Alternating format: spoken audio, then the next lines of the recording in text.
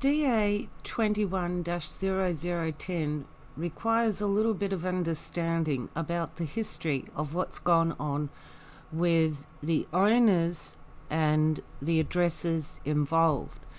So I've done up a little table here for those that may not be as familiar with the circumstances as others. I'm going to try and keep it as brief and simple as possible. Now, the current table that we have in DA 21 is this table over here that's actually got the Crown lands included in it. This little table here was the one that was given out to potential investors last year, even up to the end of last year, until it was changed and certain things were added. We know this because of the versions that were actually recorded. There could have been a change done in October, I think. It may have been changed in October to that, or it may have been changed on the 22nd of December when version 5 of the Statement of Environmental Effects by Planet has been lodged as being amended. Now, Planet have conveniently color coded everything. So, before we get to DA 21 0010 and even last year's version, you need to go back, well, probably five years. Five years minimum to say, let's say 2016, when 3222 was being run by Wollumbin Horizons Proprietary Limited. There were people that had come in, bought in as investors. These people are just looking at getting their funds refunded to them after the liquidation of Wollumbin Horizons. But as the time that they have been setting up in here, and before the community starts falling apart, Peter Van Lieshout over here with his Kemp Cove Proprietary Limited and Zimmerland has got a huge amount of land. In his DA 06 1054, he received approval to put in his village but he never did anything, and that lapsed in 2014. So by 2016, the only operating and valid development application in existence for Peter Van Lieshout on those properties is DA 94 0073 for the Misty Mountains tourist accommodation, which has got two cabins, 15 tent sites, and amenities. So that's the only existing approval, well, and still is when you come up to the current position today. DA 06 1054 lapsed without any work completing, and as it lapsed, so did the consent. So it is neither existing approval or consent, it is null and void because it was lapsed. So this land over here that belongs to Kemp Cove and Zimmerland, who are solely owned and run by Peter Van Lieshout, received the development approval for the village. Nothing was done, it fell through. When Peter Van Lieshout saw them setting up over here, he approached them and said, Do you want to join in? Let's do something together. Contracts were made, and they merged. By 2017, Adrian Brennock is putting Wollumbin Horizons into liquidation and starting to set up and sell shares in this new merged factor that is still having Wollumbin Horizons as the listed owner. Even after it has been sold at auction, even when it's been put into liquidation, and it cannot actually represent to be the owner because it's in liquidation, the asset has been seized, and it is now the control of the liquidator. So we have the two sections, this one here with Wollumbin Horizons, and this one over here with Peter Van Lieshout that joined to make this. Now this purple bit in here is another bit of land that at the time when Peter Van Lieshout set up or tried to set up and got the approval for DA 06 1054, he had different partners in this land parcel. And that can be noticed in the documents attached to DA 21 10. So it was at the same time when he merged with Wollumbin Horizons uh, that Dov Cook and Darko Kovac came in to replace the investors that clearly wanted to get out. So here we have in 2021, and I'm not going to uh, discuss the current rumours about who wants to get rid of what land and then what are the questions of what happens with that land. We're just going to deal with what is proposed in the development application. So what they propose to do, this is the current situation here, where we've got Kemp Cove, Peter Van Lieshout, Dov Cook, Darko, Darko Kovac, Zimmerland, NCV Enterprises, and the Crown Lands. Now the Crown Lands are under offer of purchase signed and being processed. So let's assume that they will be incorporated. For the most part, those crown lands or roads that actually go through are still on the same lot numbers as all of these uh, main lots are. So it would be a matter of containing that within that lot. So it will not mean the addition of any extra lot numbers but it will mean the addition of 29.6 hectares to the 1,584.34 hectares that they say is actually currently the development. To be more correct about it, they should also include these two lots here, which by necessity actually form the boundary edges of the proposed development. Lot 4 actually forms part of Road 1 where they intend to upgrade and do roadworks on. So most definitely this lot should actually be included. It has not. The lots that have been included total 21. With these two additional lots, there would be 23. But already on the 21 lots that they are incorporating, they have clearly stated 1,584.34 hectares plus 29.6 hectares of Crown lands that they are purchasing, which means that the total development is actually 1,613.94 hectares. So I hope you're following me here and that you're understanding where I'm in going with this. So the little table that I've done down here is actually a projection of what they want to achieve. That Kemp Cove will be separate. It will have its own lot 4 that will still be held by Kemp Cove. This lot here, lot 34, will still be held by Peter Van Lieshout, Dolph Cook and Darko Kovac.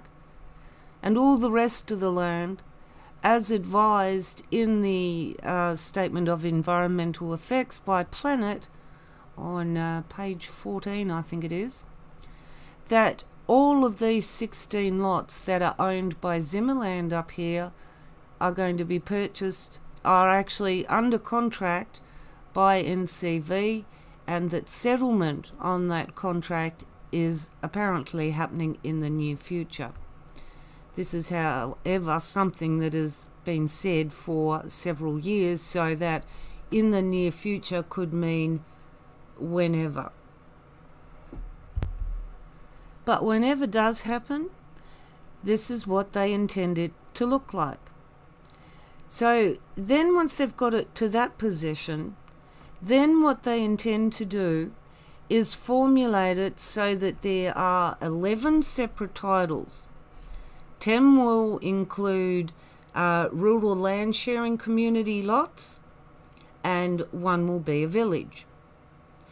Now, here in itself is where their development application actually hits a few flaws because of this is the current position.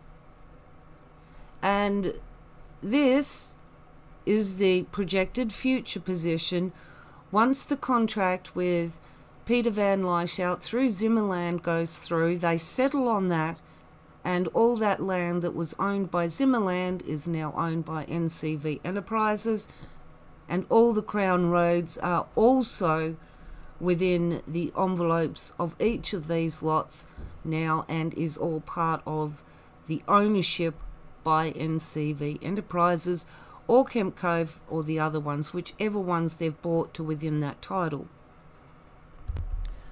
So this is the current position. This is the intended near future position.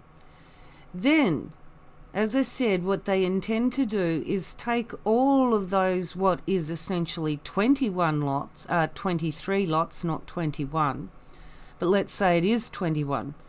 They intend to take those 21 lots and turn them into 11 separate titles. Now, here's a little bit of a problem. Now, this is the State Environmental Planning Policy 2019 New South Wales. I've discussed this before, and I've also discussed that it's very clear that the provision is for a single lot with collective owners and multiple dwellings. And as a proviso of that being a single lot with uh, multiple dwellings and collective owners, subdivision is prohibited. So within the very state environmental planning policy for the conditions for a rural land sharing community to be um, upheld and applied under this policy. It must be a single lot and not subdivided. Now, within the development application 2110 or 21 10, here in the statement of environmental effects, you will see Planet's heading concept, subdivision, particulars. Now, let me remind you that this part says subdivision prohibited. So after they've put in development application 21 0010 that prohibits subdivision. They want approval to stick in the roads and then afterwards to actually subdivide those 21 lots into 11 lots so that they can put as many houses on there as they possibly can. Now, this is in clear um, contradiction. The, the um, state environmental policy clearly states that subdivision is prohibited. It's three pages long. It's not that much for a town planner to understand. That when it says subdivision prohibited, you certainly would not even word this table as concept subdivision because it's already just said it's prohibited. So here's what you'd actually have to do before you put in a development application. You would have to purchase those lands, uh, finish doing all of this, and then take your existing lots, turn them into 11 separate lots. Then you won't be proposing to do subdivision within a single lot RLSC. But once you've done that too, you've also got 11 lots.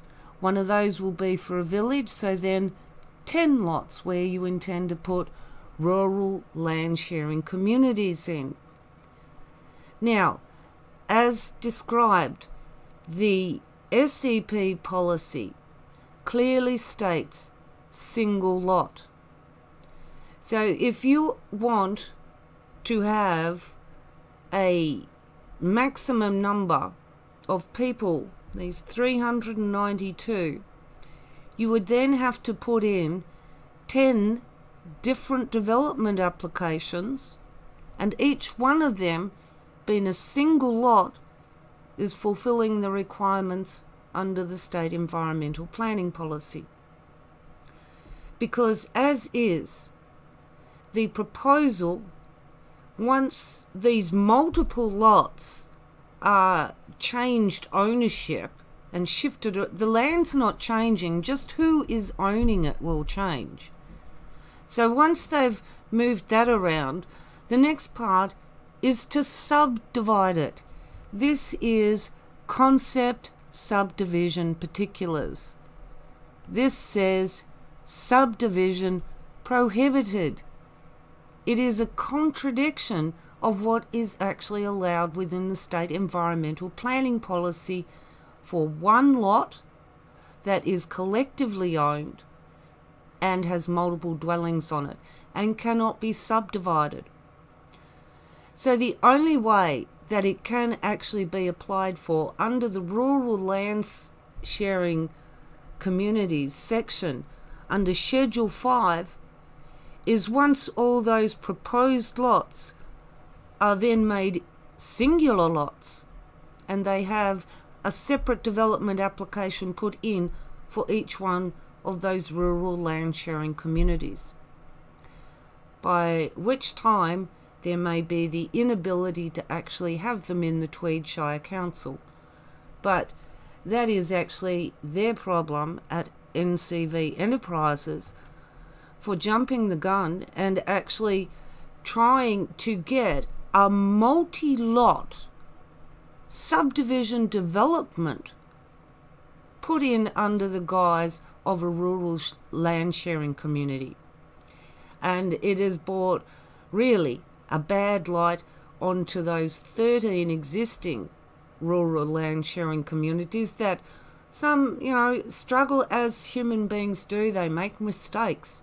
It's a live and learn process. But, you know, some of them I've heard are, are having a fairly decent attempt at it. Others, well, yes, they could do with a little bit of polish. But the fact being that you cannot have a subdivision within a rural land share community. It's not permissible, it's prohibited. And yet, this development application that is applying for consent for rural land sharing communities intends to subdivide. So, I'm going to leave it on that at this stage. I think I've said enough and made my point. There is, however, one further point I'll make. In that over the years, anyone that's ever known anyone that's had a property where they've actually looked at getting the boundaries changed, what a nightmare it is just on one single lot. How much it actually costs. And council aren't very um, happy or cooperative to actually let you do things up front anyway because that means changing all the registered plans. Now they like to keep lots the way that they are and essentially for those 11 lots that they plan to make out of the 21 or 23 they have to get in surveyors they have to survey off where all those sections would be all the registered plans at council then have to be amended and changed. And that is a lot of money, a lot of time. And just for one block, that is enough. But they're intending to do it with 21 turning it into 11. That is going to be a major headache. Something like that could take years to actually turn from the existing lots into the proposed lots. And there may even be issues that come up where you cannot do the proposed lots because it's a conflict of bylaws and how you can reduce certain land sizes in certain areas. I don't know, I haven't looked at it.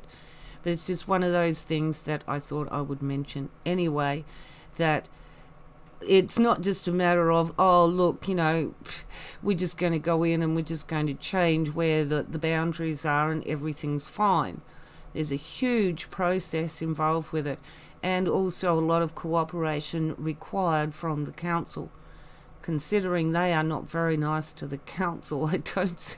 well, they'll get cooperation anyway because the council are professionals. But let's just say that processes can be made easy or they can be drawn out because, you know, what a person coming in is just a. You just make them wait a little bit longer. I'm kidding. They wouldn't do that. As I said, they're professionals. But we could dream, can't we? So before I get on to trying to get through just banging over a list of um, all the issues that have been noticed and picked up by myself and various other people, that um, the property development is 1,613.94 hectares. It is something that they are distinguishing in that they've had X amount of land owned by people and there's X amount in Crown lands. But in essence, this whole bit that they intend to be the future, very near future, this should be happening either right now or in the very near future, there will be 1,613.94 hectares that make up this development application. So before it's actually been even lodged, there are inconsistencies and incorrect things because there was because there these these two lots are not mentioned within this they would not have provided owner's consent because they would not have been requested. It's, it's not part of the stated development. Likewise, they were on, they only are asked to provide the details of title holders and permission and consent from them, not from anyone like the forestry that might actually hold the lease over the exclusive use of the plantation eucalypts. And the other lacking consent is from the supposed current 40 investors that have been bought in, coming in. They are not in these company vehicles. And yet, the people buying in, as per the documentation provided in DA 21 0010, it is under a shareholders agreement. Now, as a shareholder, you can only hold shares if it's a company. So the shares have to be held by the people buying in in one of these companies that owns the land. There has been no increase in shareholders for the said number of investors. And if people have actually invested money without being made a shareholder in NCV Enterprises, you have got no legal title over it, and you're going to find yourself much like the investors with Wollumbin Horizons and their trustee, the draft that became a supposed, well, they tried to register it, but it couldn't be registered because it was inadequate, and thereby there was no deed or agreement to protect the people that had invested their money. It ended up in court.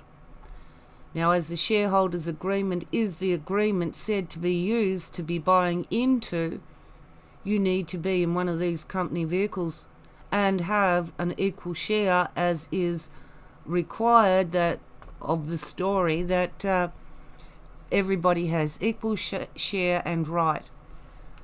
It is it is said that people will have a shareholders agreement, but these people own the land. They have the legal right to it. And the only people that have legal right to this land are these people that are noted here and are shareholders in the companies that own that land. If you've paid those shareholders money without becoming a shareholder in the company, you are at grave risk. Well, you are not at grave risk. You all you are already in a position where you have got no legal footing. Somebody can just take your money now and you've got no way to prove that the, that the land was yours, that this was what you were supposed to get. This is what they found out in Wollumbin Horizons. Now, I might point out that Wollumbin Horizons Proprietary Limited is, was, still is Adrian Brannock. And now we find that NCV Enterprises has got shares with uh, Nyepi, the one that he put the shares into his wife's name just prior to bankruptcy. Uh, Nyepi holds shares in NCV Enterprises, and the major shareholder in NCV Enterprises is uh, Yudaki Capital or one of those ones. And NEPI is a shareholder in the major shareholder, Yudaki, of NCV Enterprises. So, Adrian Brannock, the man that started up here, all the lost failed investors, threw this company into a fire sale and start selling the next one to people, while these ones are left with nothing. Then in June, Adrian Brannock and Mark McMurtrie stand outside 3222 and say, We bought it back. We bought it back. Now, the only essence that has changed is the legal title of who holds the land, from Wollumbin Horizons to NCV Enterprises, but they both represent exactly the same people. And what is particularly noted too, that Peter Van Lieshout actually conducted some form of community consultation, whereas NCV Enterprises have not only not conducted any community consultation, but anyone in the community that does dare to say anything against the development they have a solicitor to threaten for that. You know, shut up or we'll sue you. You'll end up like Gillian Norman and we'll take you for everything you've got. This is actually a common brag of Mark McMurtrie, especially. You know, we're going to take everything that you've got. Adrian Brannock's even said it to me that he's going to take everything that I don't have. but that's their mentality. Shut up, we're going to sue you for everything that you've got. These people are takers and bullies. Now, the first thing I'm actually going to raise is the absence of any bridge work mentioned in this stage one cost, cost estimate. Where is the bridge work? The bridge work is essential to get to the roads, the 26 and a half kilometres that they want to upgrade has to have heavy vehicles, machinery reach it, which means that they have to go over the bridges on the river to get to it. There are three bridges. What do they intend to do with the bridges? And they can't just keep using Mandalay Road. This is not a main thoroughfare for the community. This is actually a private road.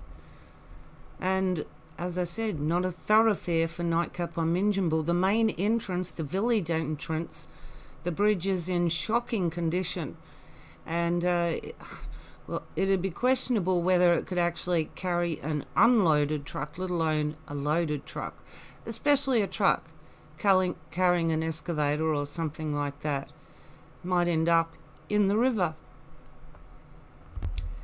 And the other part up here that actually says that items shown in this schedule do not form part of the lump sum contract but are given for indication and guidance regarding the extent of work. Now, if it's not forming part of the lump sum contract, then what is the total cost of the estimated works in stage one. Because you see, there's a very big difference that if you are over a certain so many million dollars in your development application, it automatically goes to the regional panel. Now, under that, it reverts and stays with the local authority. So you would actually wonder has this been padded out to bring it up to a dollar value that would actually exceed the boundary required or the minimum required for the national region regional um, uh, panel to look at it. If they had only included the cost of what they actually intend to do in stage one, which is around 21 million, if you consider the roadworks and the telecommunications cabling that will go in with that roadworks, that's 21 million. Now, I'm not sure on this, but it has been said that 30 million may actually be the point where a development automatically goes to the national regional panel. So the question is if the expenditure in excess of 21 million is something that is a projected cost that will be borne by people individually as they move in is this actually fair to include it in the cost estimates? Should they not also include the cost of them building houses as well and putting in their own driveways and putting in a garage and all these other things? Because if they're going to project the future expenses of the investors and the people that are going to be using all these lots for exclusive use, these costs do not form part of the development or the construction costs. It's part of the individual's costs in setting up their home, as any individual would. There is also where would they actually project here 392 soil tests and planning applications to the council for approval? Would they project all the costs forward for all that and include it in here? Or are these projections merely to meet the requirements of how you would provide basic services and infrastructure like water, electricity, and sewerage? So, if by the inclusion of the projection forward of what owners or investors will incur, this is not an infrastructure that the developers will bear the cost of, unless they have actually clearly stated that it is something that they will supply. As you buy in, we will give you two water tanks, a Tolex system, and this solar supply, solar panel, and battery backup system. That's all included. That has not actually been stated in anything that I've actually seen that is offered to potential investors. You get the exclusive use of land, the rest is up to you to do. Thereby, the cost of that is also up to you. You may not want to put in a Tolex system, you may want to put in a, combust, um, a compostable toilet. So ultimately, the choices are going to be individual and they are going to be individual costs, not the costs of the construction. So, around, uh, what was it, 16 million has been projected as the construction costs for infrastructure, basic services that investors will actually provide for themselves when they buy in and they set up their own houses. This is actually not uh, a capital expenditure program that involves $37 million, it is actually only $21 million. Might get up to the required amount if they did some bridge works, but um, we do not know what's going on with the bridges. I don't know, maybe they're a part of a separate development application that is also in some, you know, secret land that we're not allowed to know. Now, this is the water catchment overlay. The water catchment, water in many forms, is actually a very big concern with this development. The grey water, the stormwater, what goes off in that stormwater washes off down into the water catchment. The dusty roads, any herbicides or Roundup that's used to kill the weeds and maintain them. There's just, and the grey water from the DSTP or the uh, sewage treatment plants, all of them washing off in heavy rains. Then there may be also other contaminants for what 392 different um, places might actually have in their yards. You know, it's not uncommon to see cars dumped. It's not uncommon to see rubbish dumped. Unfortunately, that might actually be more of a problem with this property than what would normally be anywhere else, simply because of the two designated caretakers of the NCV Enterprises side. We've got Mark McMurtrie, who took over from his Wollumbin Horizons and Bulla days. And on the PVL or Peter Van Lieshout side, we've got Shane Morrison.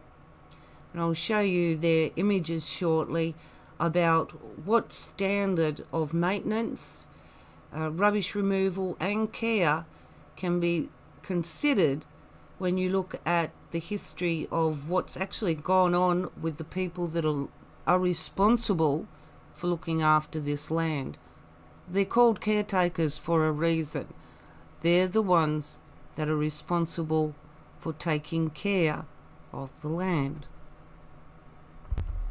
So I've just put on the structures overlay that comes from their Appendix G1 on DA 21-0010 this was inspected on the ground on the 14th of March 2019. So you have to remember that when you're looking at this, that it is the condition uh, nearly two years ago now.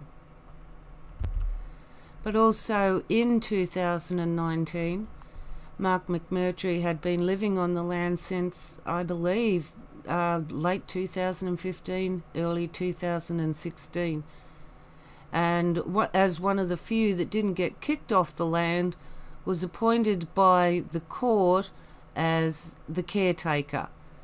Uh, they wanted him to pay rent there, but he said, I'm taking care of the place, so, you know, I'm not going to pay rent. Well, we've seen what kind of care he does take care. They should have made him pay rent. They would have actually been able to afford to get rid of the rubbish that he didn't care to take care of. Now, Mark McMurtrie is the one that is actually shouting the loudest about do no harm, coming back to country, and all this. Well, turning the land, the country, into a rubbish tip is causing harm. Leaving rubbish, rusty old vehicles that could house any number of rodents and vermin and explode in a bushfire, causing an even greater spread of a bushfire through that explosion. I mean, how is it that any of your maintenance or lack of maintenance practices are in line with the principle of do no harm?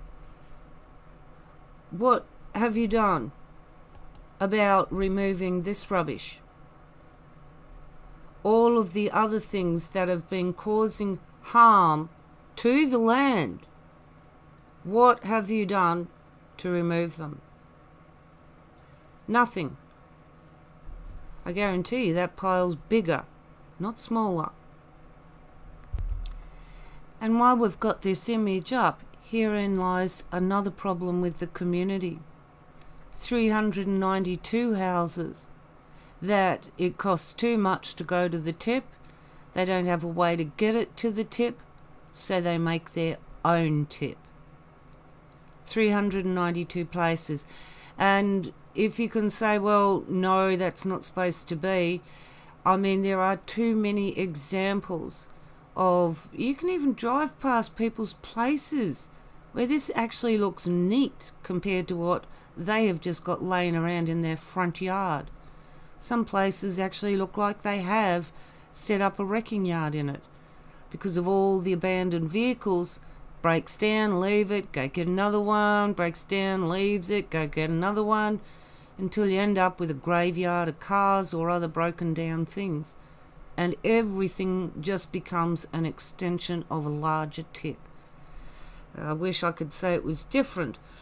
Uh, but there, it certainly is. There are also a lot of examples of people that love the land, care about the land, and it brings a smile to your face when you go past.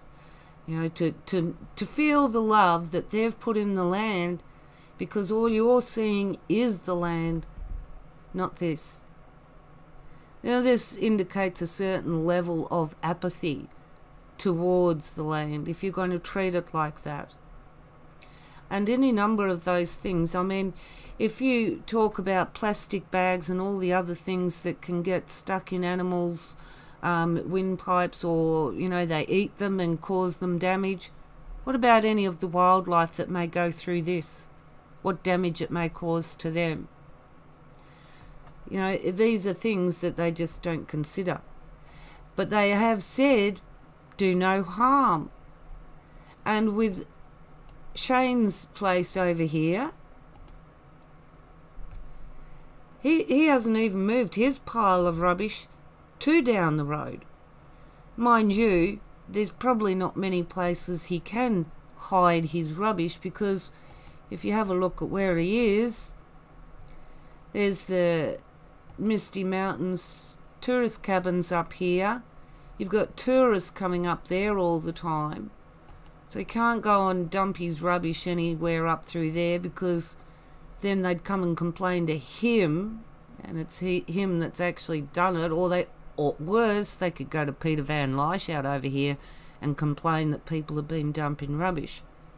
He could try and go somewhere up through here, but anywhere he tries to dump his rubbish like Mark McMurtrie has, is going to get Peter Van Lieshout, his boss, a little bit upset with him. So he has it outside his house. And he also has it outside his shed. He's got to leave enough room to get the car in.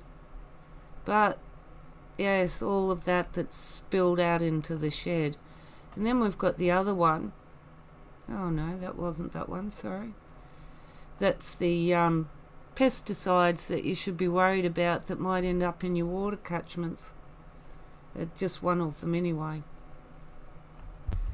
So this issue of the current lack of maintenance by the people that would still be there with the development and what could be expected to be continuing continuing and ongoing lack of maintenance it's also something that the Tweedshire Council has noted is common, and especially where there is a high level of unemployment in that community, which there would be. There's no jobs in the area. They are not offering any jobs. They are bringing people into the area, and there is no jobs for them. It's really just as simple as that. Some may be able to work from home create self employment opportunities, but of the community, maybe only 10 15% at generous would be able to do that. Many would end up relying, end up be relying on some kind of Centrelink payment. And in that, they cannot contribute to their share of maintenance ongoing roads because one of the ongoing costs, these are all dirt roads every summer they are going to get washed out. And a lot of them are going to be need to be regraded. So before you even put your first house down on there you may have years of regrading the road just to maintain them in after the, the rains have come through and everything. So there's no anticipation there's the one-off cost of 18 odd, 18 odd million to widen the roads. But even in widening those roads, you will still have to be ongoing maintenance of those roads during the whole construction phase, especially during the wet seasons when the roads are getting washed out. And that's just going to be a necessity. Some parts of these roads will, every year, need regrading. And that's before you even get people in houses on there. Let me show you an example of what happens when you don't do that. You end up with a washout that is so severe that uh, you can't reconstruct that area. So if you don't keep regrading and regrading, you're going to end up with that. And that can actually happen within a short amount of time when it starts to rain. People have experienced these conditions in this area and the surrounding area, and they can be extremely dangerous. So that's actually not anything that I've raised in this circumstance or any others, is how dangerous all of these dirt roads are actually going to be. When it's dry, there's going to be lots of dust. That's going to clog up. You know, most people are going to be far close enough to the road where they're going to get a bit of that dust come onto them. It's going to come up.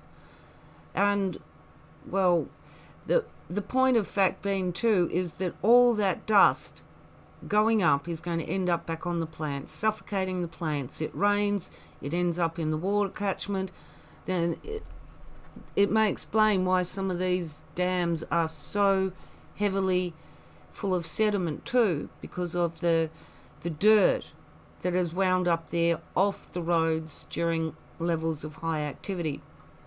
And you could anticipate that continued high level of sedimentation with full domestication and all these dwelling lots filled. So a lot of the things that are already existing on these parcels of land are under two caretakers, Mark McMurtrie and Shane Morrison. And they have not done what I would consider to be a diligent job in taking care of the land. And I certainly do not anticipate that anything that is promised in a development application would be fulfilled or lived up to. Because we've seen that, well, you need to have a legal DA and application approval to even break the ground. But at Christmas time down here, they did exactly that. All here and over here. It didn't matter that it was illegal. They went ahead and did it anyway. So the respect for the laws isn't there. The ethos, morality of the developers is not even in alignment with the local community or ordinary people. This development is very much opposed by the local community, the broader community, and the local council. And yet, despite this, the developers will force in any way, shape, or form their agenda onto the larger community. They have not given any care to the impact that it will cause all the people that are already living here. The people that may actually come to Mebbin Springs over here, the nice, quiet, reasonable little subdivision of 70 lots. No dramas, no problems. You know, it's just a nice, neat little rural residential area. Not too big and will provide enough housing if you can afford to buy into it and build on it. And in those lots down there, you don't have to be a political extremist. You don't have to be um, a vegan. You don't have to hold certain beliefs or anything. You just have to be a law abiding citizen. You can get electricity, water, and uh, all the other services. And you know another thing you can get? You can get a title that actually has your name on it and says it's yours. Other than that, you know, over the road you're going to pay, well, what will end up increasingly being more than what people will pay to get into Mebbin Springs, and you will have no legal title over anything for the money you paid.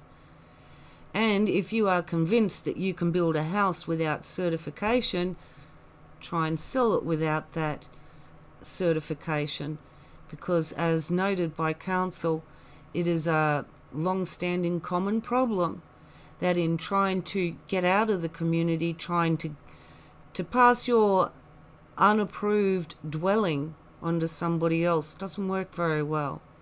You might be able to get away with it, but in the long run, when you want to get something back for it, that's when you find the problems. So these are the 392 exclusive use lots. And those ones that are in orange cannot feasibly be 2.47 acres. There is no possible way that they can be, given the location that the developers have put the houses on. They cannot be any different. So I have designed these lot sizes according to where they've put the houses and how they may fit in. Of course, these ones may be more over this way, maybe different shaped, but in basic essence, it was an exercise to see if the promise of 2.47 acres could be fulfilled within each allocated proposed lot. And as I discovered, 40 of those lots cannot fulfill that prerequisite. 40 of those lots can only be an acre. Uh, you may change this one down here and may make it a 39. You might be able to extend that out. But given that these exclusive use areas are only denoted by the house, these ones also may go over here, but I doubt it because they've actually moved the road to come in underneath the road that goes past the house because they don't want people driving past their house all the time. No, they just want them driving past your house all the time. Now this is the flora overlay. I'm sorry if I actually make it more opaque, you won't actually see where all the areas are. And it is actually a little bit overwhelming but I have discussed this in a previous video, where these one acre lots that will all be cleared are destroying a large part of vulnerable and endangered flora. And if you look throughout the development, there are very few places left that the development won't encroach upon. There's a bit here, there, there, up here, around there.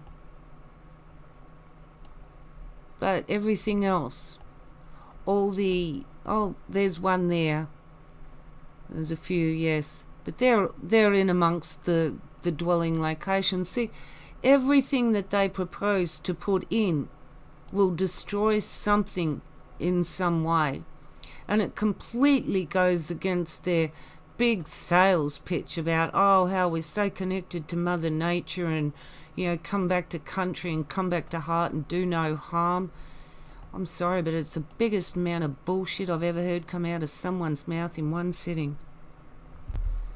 So on the flora side they will be destroying this complete habitat just to stick up all those houses. They will also be destroying over 300 acres just to put in the rest of the houses and also to widen the road in the vicinity of um, 50 square uh, 50,000 square meters at least of trees, plants, bushes, whatever's on the side of the road that's going to get widened and removed. And then in further to that, their desire to actually push all the animals that currently use this area over into this little area here. It, it's a, com a completely unacceptable marginalization of their habitat. You, you're going in and you're destroying so much, And then you're saying, well, now we've overtaken all this, you can have this little strip down here because we're not using it. Now, the thing I wonder too is that how many road signs will there be on these roads? You know, those ones where you see the picture of a kangaroo or some kind of an animal and then you see a car getting turned over? You know, those images? Will they be on these roads to warn motorists that there could be the danger of flipping your car and having a car accident because of animals? And who will tend to those injured animals? What kind of provisions have been made to deal with the animals that may be injured trying to cross this busy road. Maybe they're planning to put a veterinary service in over at the village. Maybe not. Maybe they'll have to rely on other local services and rescues that would have to come in from who knows how far away and take so long that ultimately the best thing for it would probably be a bullet and that's probably why they ask you about how you feel about guns because they will have guns on the property. Now, of those houses, too, in winter, those burning wood fires are going to pollute the area with wood smoke. It's it could become very dense in uh, especially in Tasmania in Launceston. Uh, there were a lot of years people getting asthma attacks, and even still now with reg- regulations that have changed things, people still have bad health, asthma attacks, and all these other things that are associated with smoke that sits in an area and condenses. And on still nights up in the top of the mountains, you may well get that. So, the question of how many of these houses will be burning smoke uh, fires and create smoke. Then there's also the aspect of how this larger development can actually be seen from many tourist uh, viewpoints throughout the region. And of a night time, you know, when you may go and have a look at a view, instead of seeing the natural darkness and silhouette of the countryside, you may see hundreds and hundreds of lights speckling the hill. And likewise, the residents round here. Now, I might tell you that from doing night photography that you'll go, well, you know, if they're not in direct sight, it's not going to make any difference. Uh, wrong. They actually make light haze. And if you have enough uh, places or enough strong light, even one strong light in an area, it will create a light haze that can actually be seen over the hill. I've photographed it, so you know it exists, it's a real thing. And you've not only got that too, but you've also got the noise of all that traffic, ongoing traffic in and out of the community all the time, that is well and above what all the local residents are actually used to and actually move to the country for the peace and quiet to avoid that kind of activity. Now, I have mentioned before about Misty Mountains tourist accommodations not falling within the provisions of the state envir- environmental planning policy, and also the other undisclosed camping locations that they have throughout the development where they will rent out camping and tourist accommodation. These are not allowed activities within one single lot for multiple owners with multiple dwellings. There is to be none of these activities. They are trying to set up essentially a town, not a rural land sharing community. And if you want to set up a town, you need to provide a lot more infrastructure than just leaving this little blue, the village area. Well, we're not going to tell you what's going in there because that's part of a separate development application and you'll know when that comes out. That's unacceptable. You've intended to provide all these this overburden on the community and yet no way of how to mitigate it with anything you may intend over here. And I don't think that that is very forthright of the developers to withhold even a basic concept. Now, I haven't even talked about the uh, community centres yet and what they are actually supposed to be be made of. What how what are they supposed to look like? They've got certain structures already existing, but they intend to construct community centres. The only way that I can see that these are actually workable is in the initial stage of where people are constructing and they haven't set up any power, electricity, I mean, water or anything like that, that there is like an amenities block where they can have a shower, they can go to the toilet, they can do their cooking, they can do their washing, you know, and they can recharge their phone and do all those sorts of things that they can't actually do in their own place. And they can provide that because even though they offer absolutely no electricity to any of these lots, there is electricity poles that run through all the way through to this these two houses in the middle here and the sawmill. So as a matter that there is power poles and cables the long term maintenance of them also needs to be considered. But as the community is not actually using any electricity, it will then become whose responsibility to maintain those power poles and maintenance of them and those um, well, land breaks, fire breaks where they go through. Who will maintain those?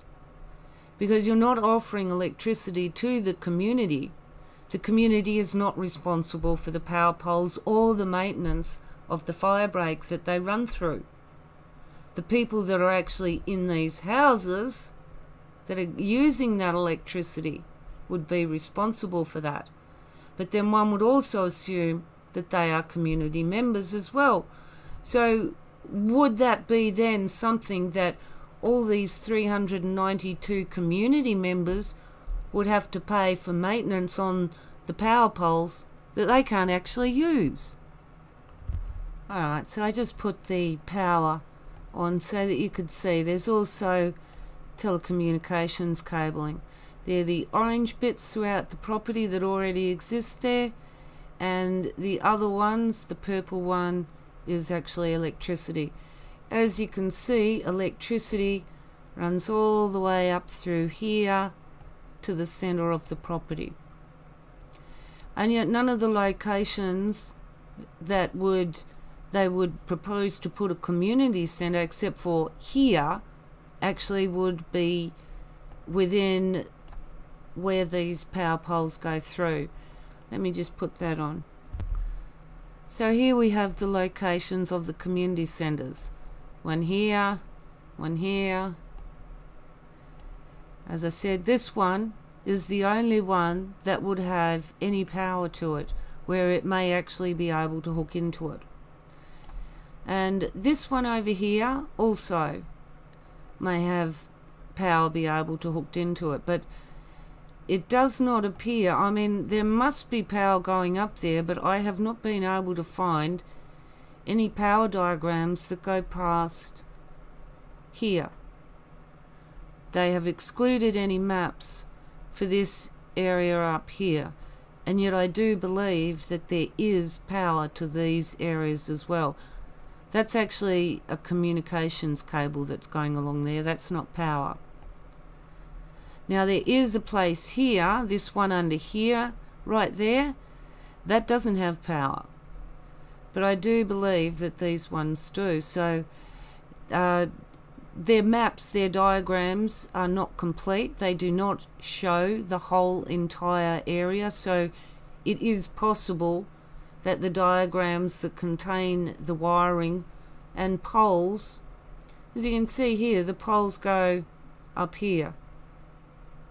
Can see I've marked in all the power poles.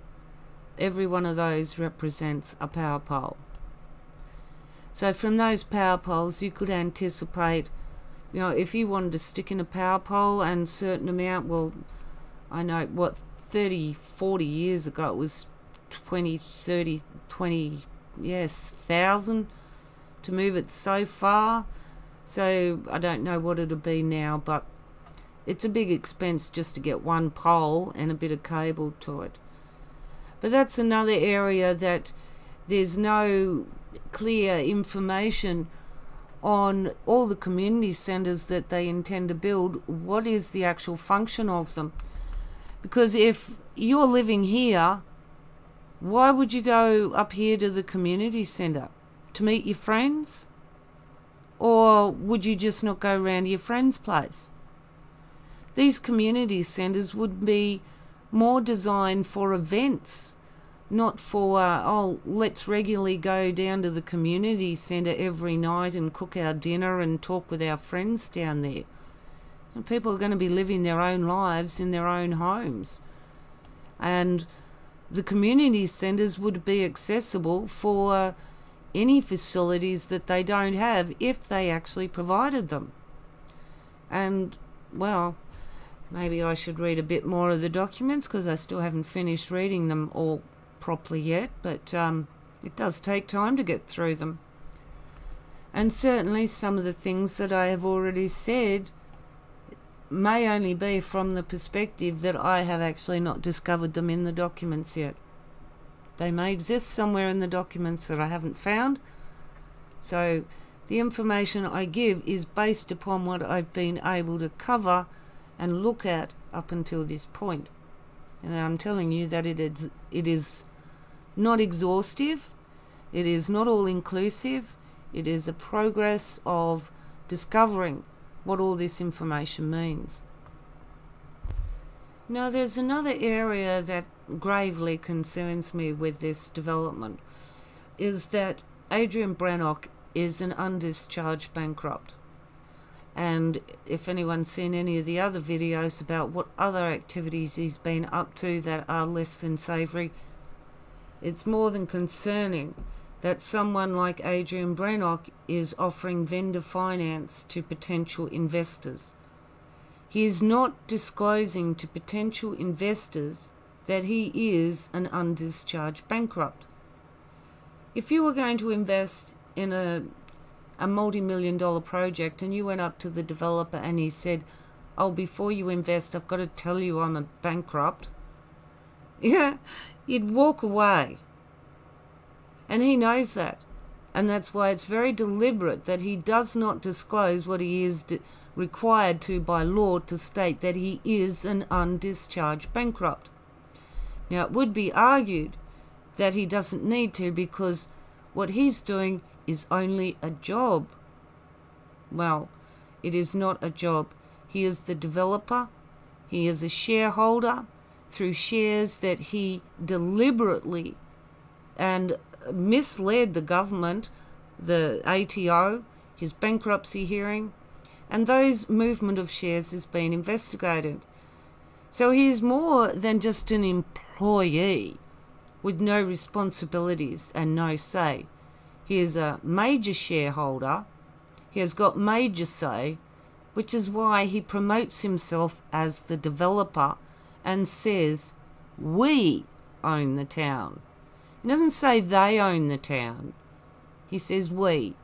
And we is inclusive of Adrian Brannock, who is reaping the rewards of being the developer of Nightcap on Minjimble in many ways, but most notably through Nyepi Proprietary Limited, the shares that he moved into his wife's name that hold interests in other companies within the member companies where he can get money back through, well, where he sees as a legal means.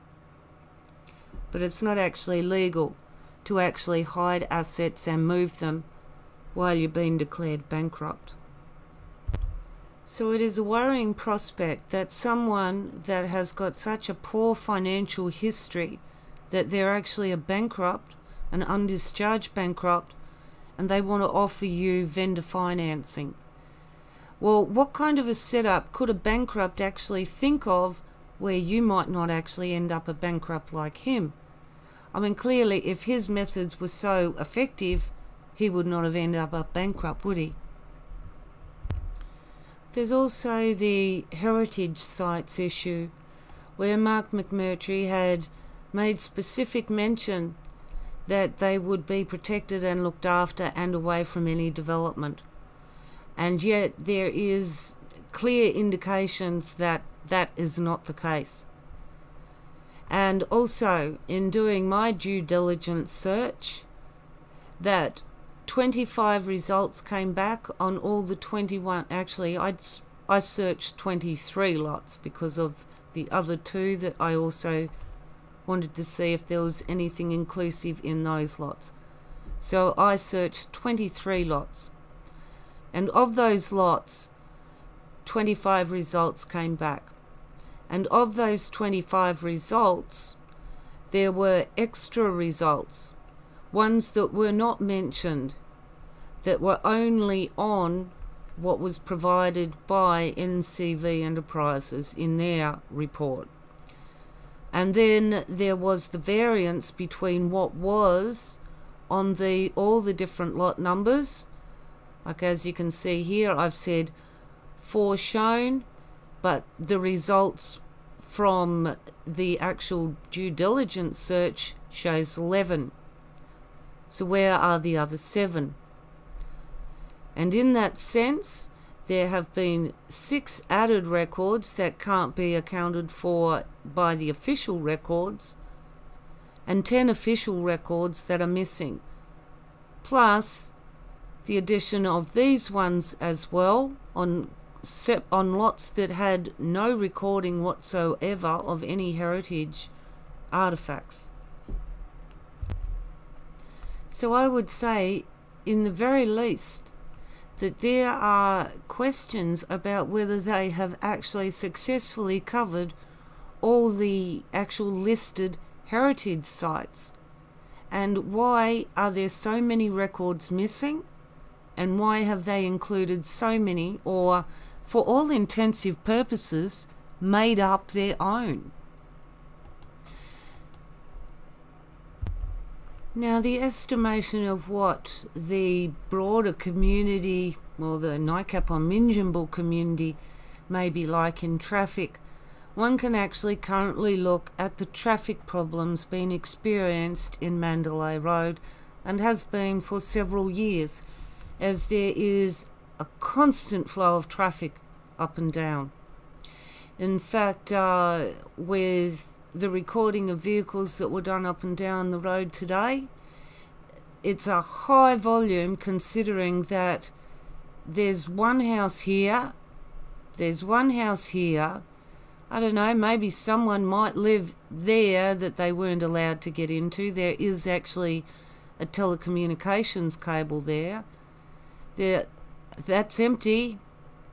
So the only people that could be going up this road are that person, that person, that person, or Dolph up here in his place. So that's about four other vehicles. It doesn't account for the trucks with excavators and all the other tradies' vehicles and all the other vehicles going up and down, dump trucks and all these other things. And uh, that is why this area that Dolph has been, this area where he's made it look like a quarry, where he's landscaped out for whatever he's doing. Let's hope that there will be something that is forthcoming from the council investigations on that soon and we will know what he's been doing up there. Why all these trucks are going up and down. But the level of traffic on this road is something that could be anticipated in the other roads, main access roads leading into the community once it's all established. And under the conditions that it is, this bridge over here is barely coping with all the traffic, as is the road condition that up until a certain time ago one of the landowners in the area, was helping to maintain the roads. But as he retired and was not bringing home some of that extra stuff that he could just throw there, and it was going to start costing Peter Van Lieshout to actually maintain the roads, he did nothing. And in the time that nothing has been done, the roads have just got worse and worse. And you have got the highest level of traffic going over these roads now when they have not been maintained in the condition that this previous um, retiree was able to maintain the conditioning. Now, the last thing I'm going to finish with here is just a brief summary of, well, the illegal works that come off the top of my head that uh, are very easy.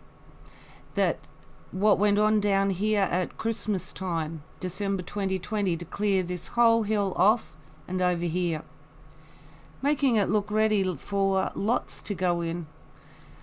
And also a lot of illegal habitation that went back on in the Bulla days. A lot of the rubbish that has actually been left over here that you can actually see that was surveyed on the land was actually left behind by those that, well, illegally habited the land and were kicked off by council. And many of those structures that were existing had to be removed. So, uh, yes, a lot of these ones that actually show up as might be a slab or, or uh, looks like a pre-existing structure or whatever. They were.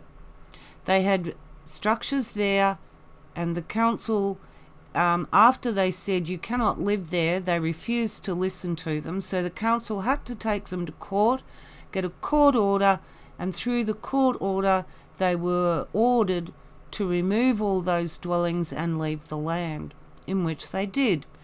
And then a lot of those investors were then left to try and get their money back through Wollumbin Horizons and Adrian Brecknock. That's when he threw it into a fire sale, into liquidation, and also when he started out with his ploy of litigate, litigate, litigate, to tie people up in litigation. He was even planning on suing one of the lost investors because she might carry insurance that they could actually sue her for and get her to pay for their mistakes. Yes, the character of the developers leaves a lot to be desired. Their moral ethics, well, their lack of them, their, well, psyche, their ability to actually work within some normal framework of understanding in all aspects of their official Nightcap on Minjimble documentary. They are political extremists and declare outrightly that the laws of Australia are invalid. The laws of Australia don't apply to them, which is how it's so easy that when they have that perception that the laws don't apply to them, that they just go in and do whatever they want. Illegal habitation, illegal earthworks, illegal threats. It doesn't matter. As long as they feel justified that it's within their framework of Yirrkala principles and their sovereign rights, they do not recognise Australian laws or the citizens that live under them. Essentially, anyone that lives under Australian laws, we're sheep. You know, we, we just haven't got it figured out like them. And if we want to escape being a sheep, we need to come and join in and live under their mindset. Go through a very personal questionnaire, tell them what you eat in your own home and what your political views are, and then you can go through well, a, a minimum of five hours interview to see if you're good enough for them in their community. And if you don't say the right thing, you won't be good enough.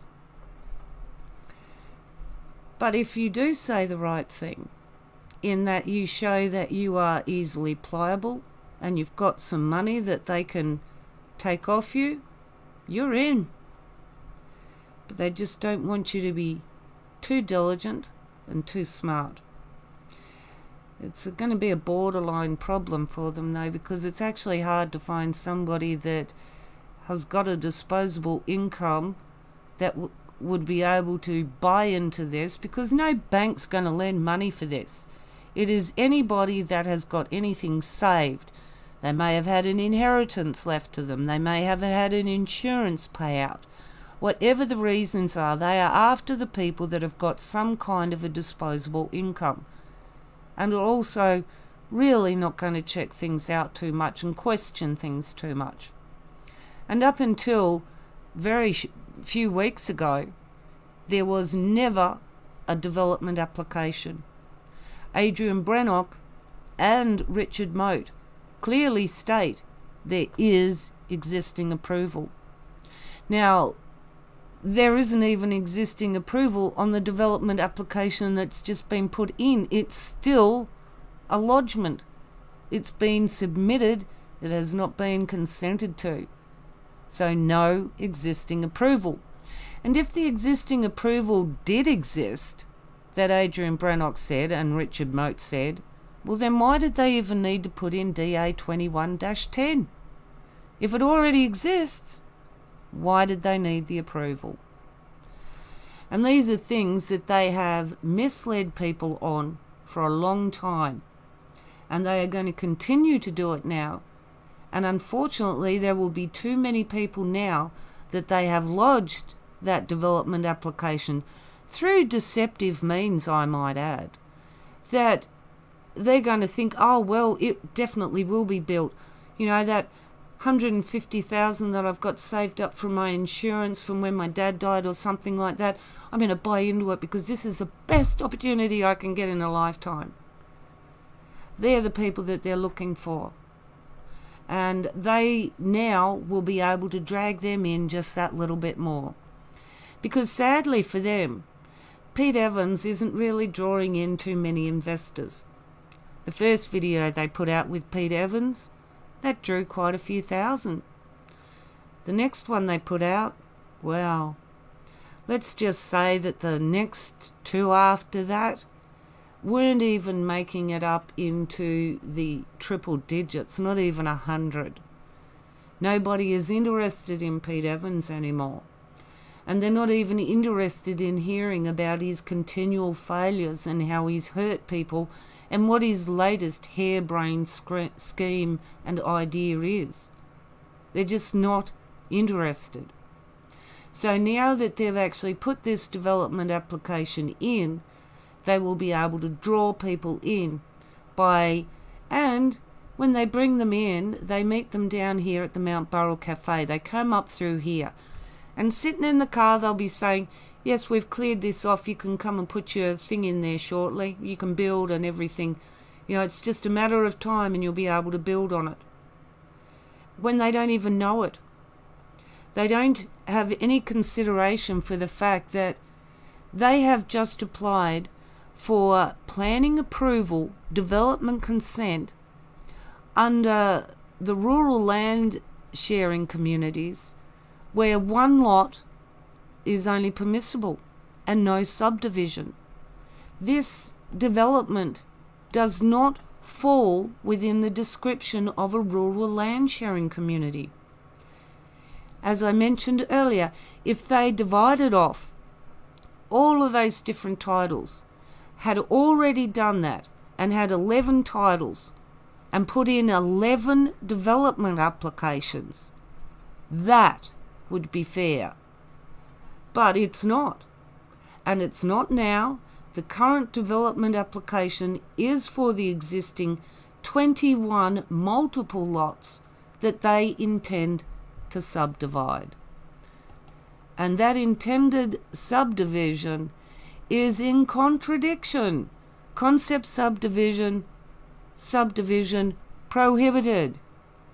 So their concept of what they want to achieve at Nightcap or Minjimble within the framework of the rural land sharing communities is unachievable. You cannot have subdivision. It just is that simple. It's prohibited. It doesn't matter whether you can make provisions and say, oh, well, we've got a concept, we can do it this way. It's whether it's allowed within the provisions of the policy that allows you to actually construct that in the first place. The SEPP is the only legislation that allows this to go up. Without it, they are not allowed to do it. And if the Tweed Shire Council get their way, they will remove their names from the state environmental planning policy and rural land sharing communities will no longer be able to be applied for through the SEPP in the Tweed Shire Council. The other councils that are still less listed within the policy, you can try and set them up there, but not in the Tweed. So that's a lot of things to consider when there is the application itself doesn't match the requirements set out by the policy. They are intending to even breach the conditions that are clearly stated. It's three pages. It's not rocket science. Subdivision prohibited. And clearly, with that noted, they've still decided, look, we're going to subdivide it anyway. Because we're a law unto ourselves, we'll be able to find a way around it. We'll be able to threaten someone with suing them, or we might be able to pay someone under the table, maybe, I don't know. Yeah. How can you take into consideration the state environmental planning policy and include the concept of subdivision? I'm sorry, but your town planner is just I don't know. He's obviously trying to make your dreams of and fantasy a reality, and doesn't want to break it to you that it's actually not within the the framework of the actual things that are policies. But then your clients don't actually think that policies really matter to them because the Australian laws are invalid, they're illegal, and both adopted tribal people Mark McMurtrie and Adrian Brannock state that they have not given up their tribal sovereignty rights and lands. And they never did back then, even though it was probably their relatives coming over on the boat, sticking their toe in the sand and a rag on it. but they're the ones now objecting to we never gave up our sovereignty, pretending like it happened to any of your real ancestors. Mark McMurtrie is a tribal fake. And he is a tribal skin name thief. And if he actually really cared about the tribes, he would not have actually set up some kind of tribal claim over the land at Nightcap on Minjimble. He would actually already realise it is an area of contention amongst several tribal eh, um, people that it's theirs. Others say no, it's theirs. And there are at least three to four different people that lay claim on this area. And all are as passionately mm, possessive about it as each other.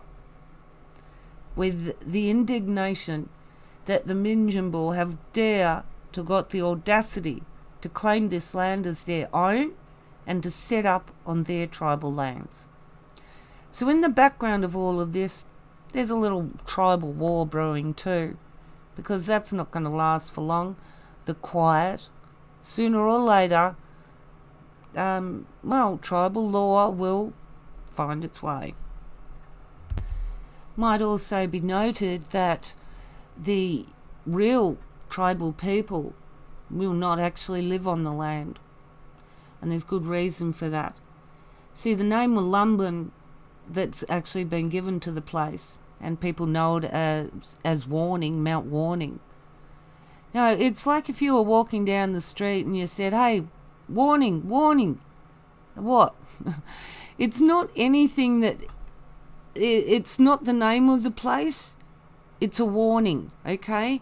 Wollumbin is a warning not to go there and it's a it's not a, a place name it's the definition of what the place is it's a warning don't go there and depending on which tribe that you actually look at and ask there are various reasons on why there is a warning around that land and you should not go there. But that said, real tribal people will not live in the area that has got the warning on it. And then you can look at the Kunga curse, which goes back to the time when all the people were slaughtered on the land and the clever man came in and put a curse on the land. Mark McMurtrie says that he waved a little sage stick round and went, Oh, you know, curse fixed. It took a group of clever men to curse the land. Real clever men. Real tribal men. And Mark McMurtrie, adopted tribal impostor, waves his little sage stick around and says, All cleansed now, the curse is cleared. That's a load of rubbish. You wouldn't even have the ability to clear the area of what those clever men put on it. Not you or any of your mates combined together because you do not have even the combined power to overcome that which is already there. And also, probably a warning that it is doomed to failure. Nothing will succeed on the land. It is part of the curse. You're better off to just turn it over to perpetual trust, give it to the animals and the natural wilderness, and let them have it. And thereby it will not affect mankind because he will not be habitating the land. Hmm. The animals will. Because you know what? They need a home too. And on that note, I think I've covered everything. I've tried to pretty much bring up everything that I have in previous videos here before. To either touch on them again or uh, I said I wasn't going to detail them, but uh, I did anyway, didn't I? Some not too much. You may have to watch other videos. But anyway, I think I've, as I said, I think I've covered everything that I can mention. Oh, other than the water bores, that's a concern that I haven't. I've wondered about how they did 17 tests, and when those 17 tests were done, they actually clearly were done at a time when 3222, this area, was not part of it. Because all the water bore locations are on Peter Van Lieshout's land. Or maybe Peter Van Lieshout paid for it and he said, Well, I'm not paying for any on your land. If you want them, you can get them paid for. I don't know, but this community over here doesn't seem to be getting much access as far as anything's concerned. Because the way that they looked like they had tried to set it up is the bore locations would would be for you know one cluster of buildings or something like that but it's not and I and it may be stated in there I haven't got to that yet but at this stage I have not seen anything that's stated what they intend to do with those 17 bore tests whether they will actually be the locations whether they intend to put those 17 in whether they intend to put in another 30 odd around the place uh, it, all it is is just test results. And yeah, well, it just shows what if you drill down so far, what kind of geology you're going to get. Anyway, as I said, I think I've covered everything now. If I've forgotten something, well, that's another video. Alright, I'll catch you next time. Bye.